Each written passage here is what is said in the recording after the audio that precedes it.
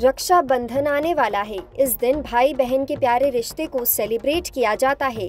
इस दिन को और भी खास बनाने के लिए सही दिशा और सही मुहूर्त में राखी बांधना बेहद ज़रूरी होता है। इस साल बहनें अपने भाइयों को किस मुहूर्त में राखी बाँध सकती हैं, हम आपको इस बारे में विस्तार से बताएँगे। साथ ही इस बात पर भी चर्चा करेंगे कि किस दिशा की ओर बैठकर राखी बंधवानी चाहिए।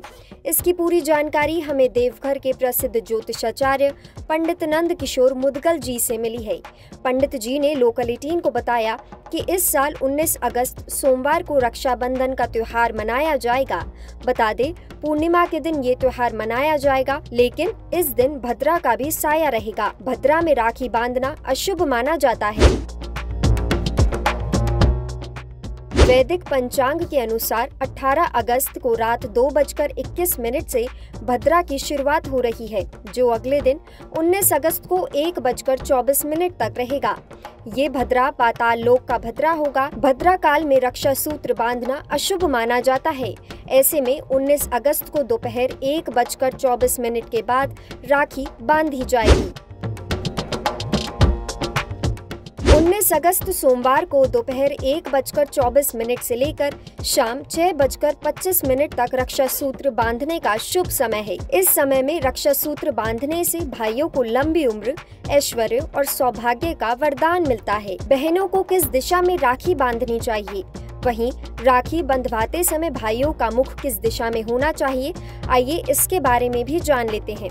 पंडित जी इसके बारे में क्या कहते हैं? सुनिए। आप अपने भाई को पूरब की ओर मुख करके बिठाएँ पूरब मुँह और आप अपने उत्तर मुँह बैठें और दाहिने कलाई में रक्षा बंधन करें, मौली का, रौली का टीका लगाएँ, अक्षत लगाएँ और भाई से यह कहें कि हमारी रक्षा का दायित्व तुम्हारे ऊपर रहा और भाई का कर्तव्य होता है बहन की रक्षा का दायित्व अपने ऊपर लेना। जिस प्रकार की कलाई में रक्षा का बंधन होता है, वह सूता नहीं है, वह धागा नहीं है, वह जो है, वह रक्षा का प्रतीक है। आने वाले राखी के त्योहार पर कई शुभ संयोग भी बन रहे हैं।